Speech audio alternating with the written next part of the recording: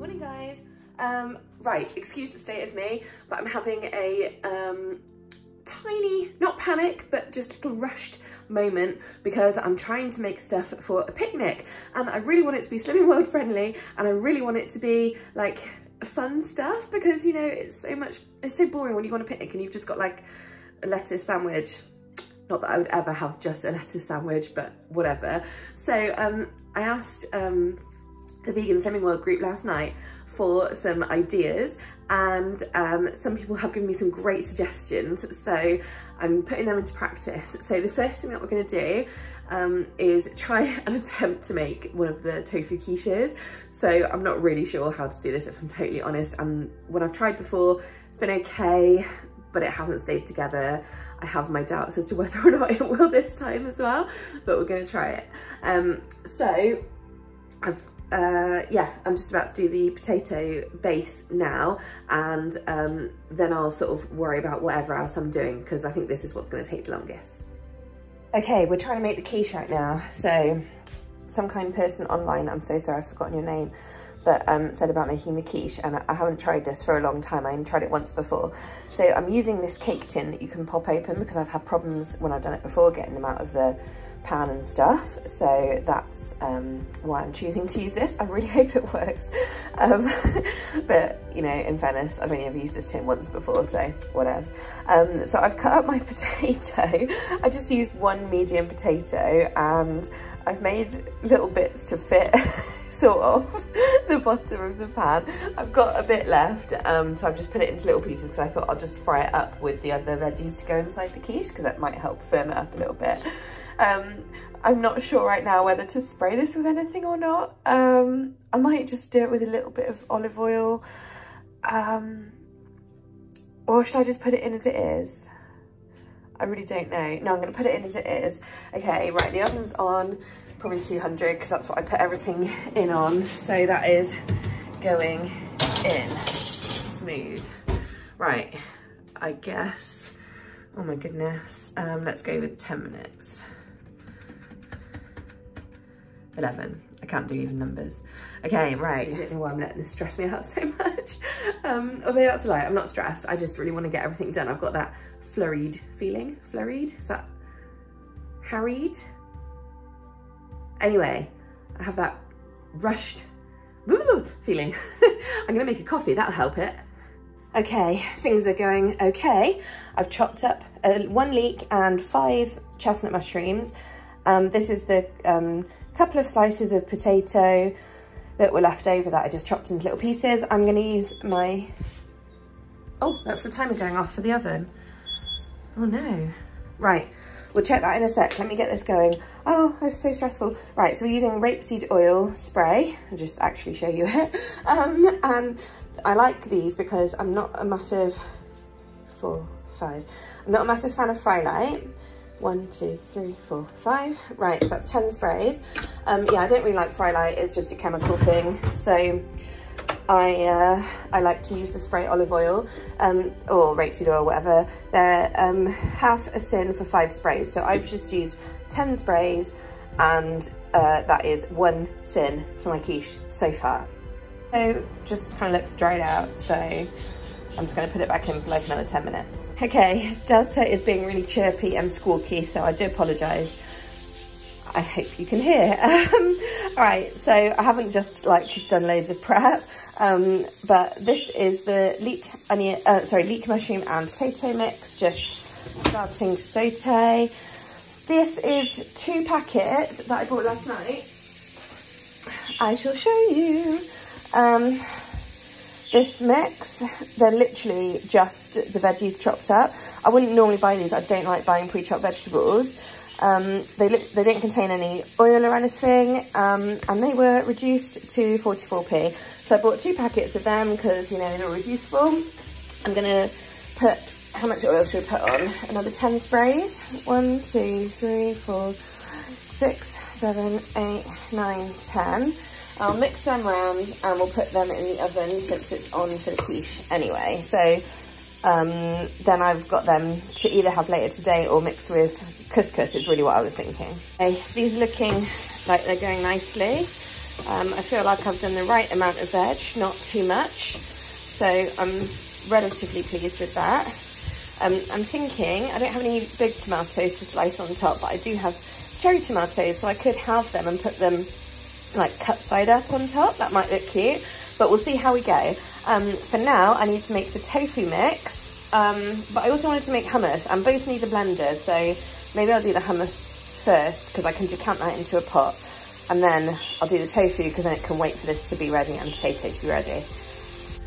Okay, the hair's gone behind the ears. See, this is like where it gets like, um, but anyway, you see how the like planning process goes. So you kind of like, obviously, you know, I don't have the biggest kitchen in the world. I have a decent sized kitchen, so you can see, you know, I've got quite a lot of counter space that side. The other side I don't really have too much, but it is there if I move some stuff around.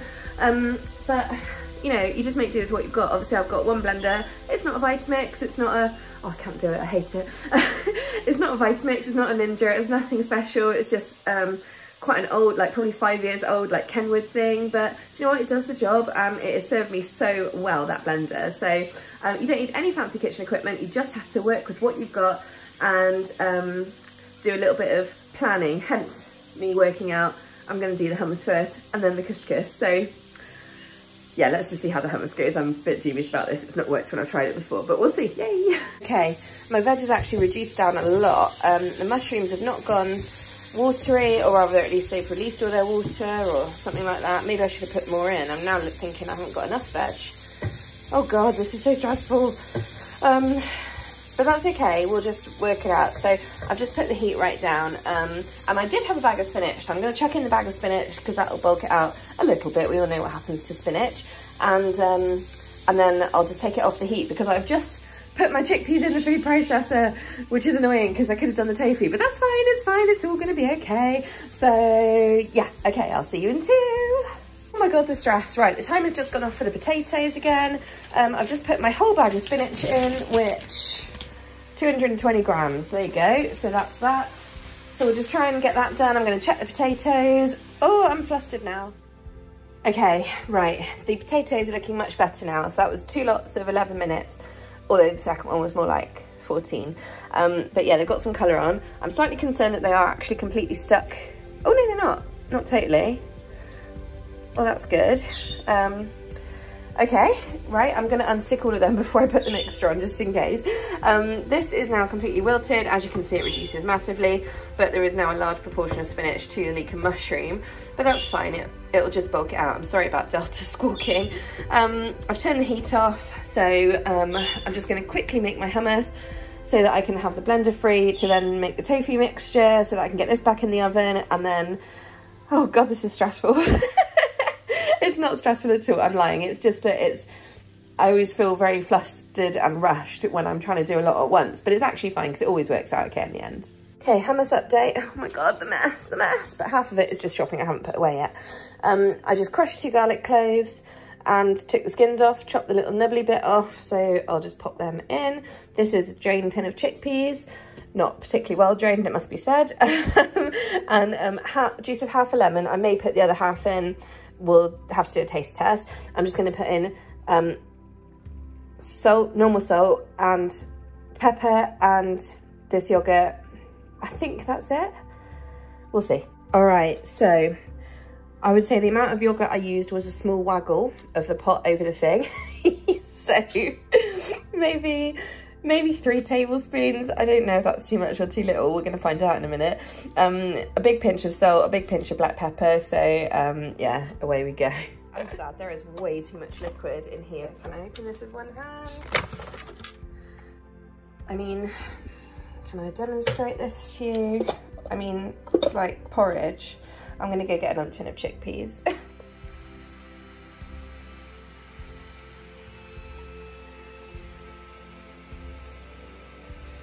Okay, so this is a much better consistency now. I'm happy with the consistency.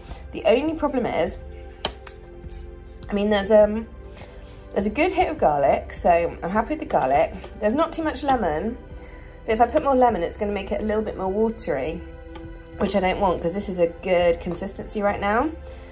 So I think we found the sweet spot. Three tablespoons of yogurt, two tins of chickpeas. Drain them better than I did, i.e. with a sieve, not using your hands. Um, what I might do, I'm just tasting it. It's just not got that little sharpness to it. It's pretty good otherwise, I'm not gonna lie. I'm pretty impressed. So, um, okay, I'm just gonna show you guys my spice straw. Excuse the mess. I'm in the middle of trying to redo my jars to these ones. These are my old ones. And then I'm gonna get proper labels done. But what I was gonna show you was I have this Wicked Kitchen lemon, garlic and herb seasoning. And I'm thinking I might throw some in and that might just be the kicker. And of course, then that will do it without adding any more liquid. Yeah, so I'm gonna try that and then I'll okay, feedback. Guys. Oh, I'm still eating it. Mmm. Oh, it's lush. Mmm. That was the kicker. Right. That sorted it right out. So this is sin-free still. I'm so happy. So this is the Wicked Kitchen lemon, garlic and herb seasoning. It does say it's got lemon oil in it. I mean, I'm still gonna, I mean, it's the last ingredient, so it won't be that much and I used like half a teaspoon, so maybe a tiny bit more, but I mean, you know, it's gonna be a negligible amount. So this is what it is, red bell pepper, garlic, sea salt, lemon peel, rosemary, parsley, and lemon oil. It also tastes like fennel. Oh, I was gonna say, it's fennel. Um, but yeah, so now it's hummus with a little crunch. Oh, so good, I'm very happy. I have to quickly do my uh, that's the spare chickpeas I brought just in case two wasn't enough. Um, I have to quickly do my tofu topping and get that quiche in the oven because otherwise it's all gonna go Pete Tong.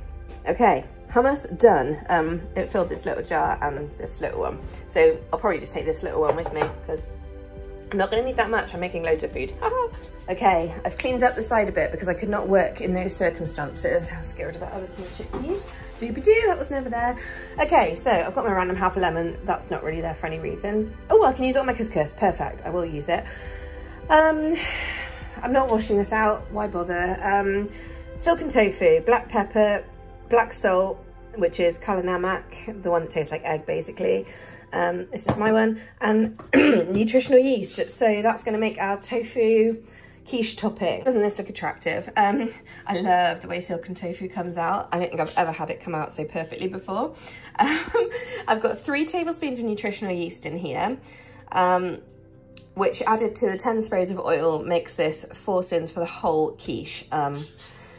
Obviously hoping to split it into quarters and get four portions. So yeah, um, I've also got two big pinches of black pepper and like five big grinds of this. The problem is loads comes out, so I'm really reluctant to put more than that in. Um, I just don't want it to be too salty. I've made that mistake before with that one. So, okay, so here's the finished product. Um, I love silken tofu. It's so satisfying. Look at that, little beaut. Smells so eggy right now. Um, I guess I could try a little bit and see. Um,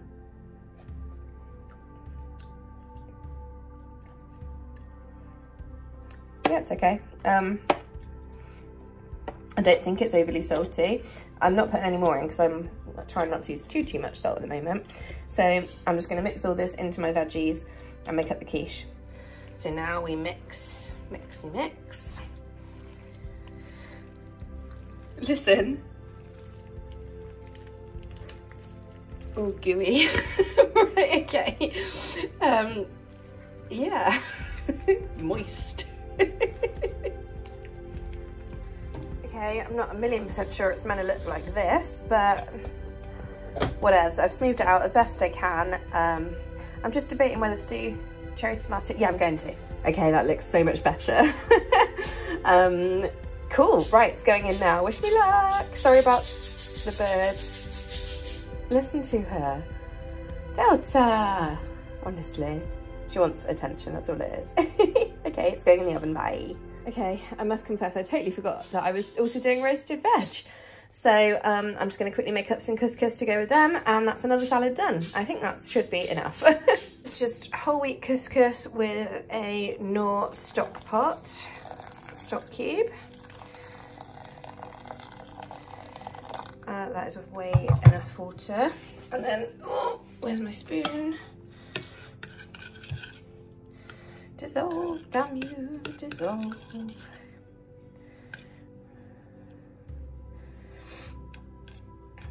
I'm sure this is a scintillating bit of viewing for you.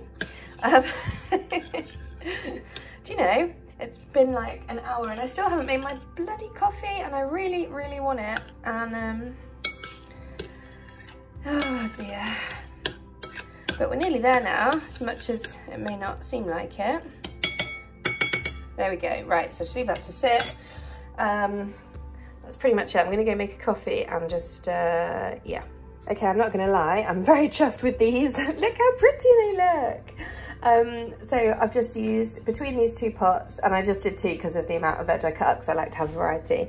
And it means that I've got some for tomorrow as well.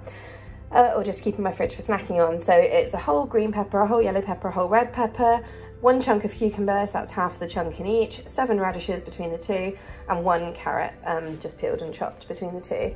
But yeah, how pretty does that look when you just take a bit of time to arrange it?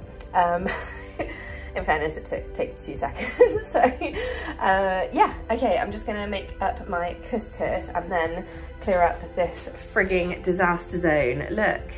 Oh, and by the way, it's like ages later and I haven't had my bloody coffee. Okay, and breathe. Things are starting to come together. I've cleared the side. I haven't wiped it yet, so don't judge. I've done the washing up. um, I know I do have a dishwasher, but it's one of the half size ones. And when I do loads like this, I always wash up because A, it doesn't fit in there, and B, I just like to get it out of the way.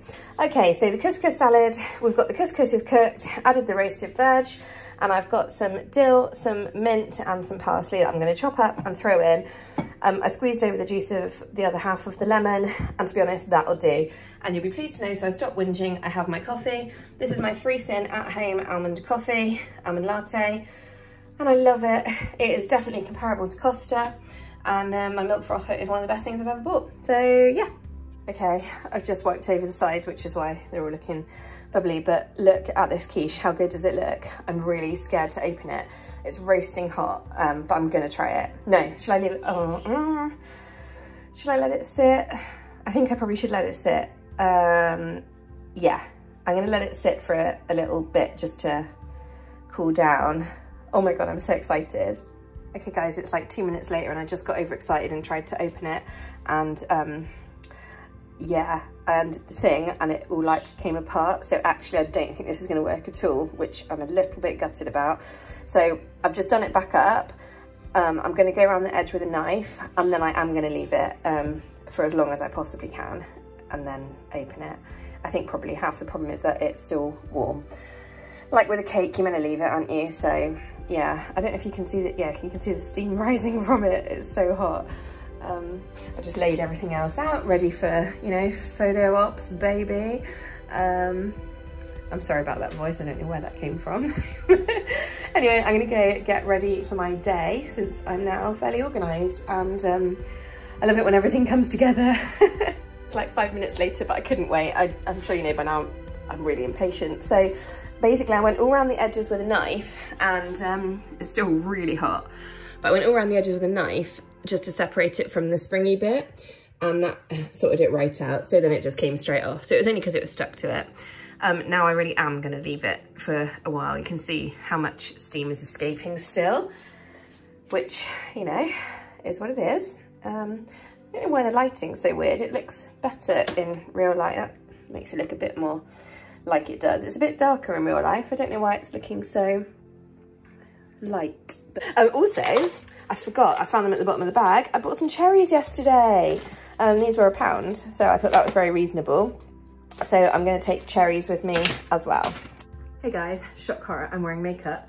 Literally, it is mid-June now and I haven't worn makeup since March before I got ill. So that's a turn up for the books. However, I am only wearing mascara because like I'm trying to let my freckles fly free. freckles fly free. That's a tongue twister. Um, I'm shiny because I've just got some suntan lotion on. So um, yeah, okay. Um, it feels really, really weird wearing makeup again. Like I always wore makeup before, but because I haven't worn it in so long, I feel a bit like a painted doll. so that's um, a strange sensation, but on the other hand, it also feels really nice to actually be wearing makeup again. So maybe this will be the way forward, just mascara and no foundation, who knows? Anyway, I'm just packaging up my um, food and this doesn't help you because it's still on me. I'm just gonna turn the camera around. Okay, so I've got my smaller thing of hummus, my um, veggie stick things, crudité, sorry. This was a feat of engineering to cut. Um, however, it has miraculously held together. So I've managed to get myself a portion.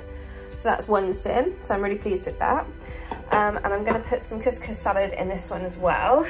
Um, I don't have any green leaves, but on the other hand, there's so much spinach in the quiche that I think it's okay not to. Um, normally I would go for a green salad, but I just have so much food, it's absolutely fine not to, I think, in this occasion.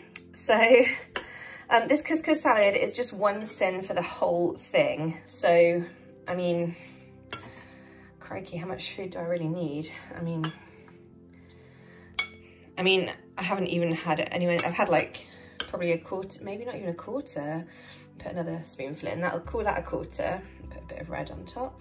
So this is how you make food look nice. You just do a mix of colours and then uh, just get a little bit of this red onion and pop it, oh no, pop it there. I can go in the corner like that. And we need something on that side, maybe another red bit. So there.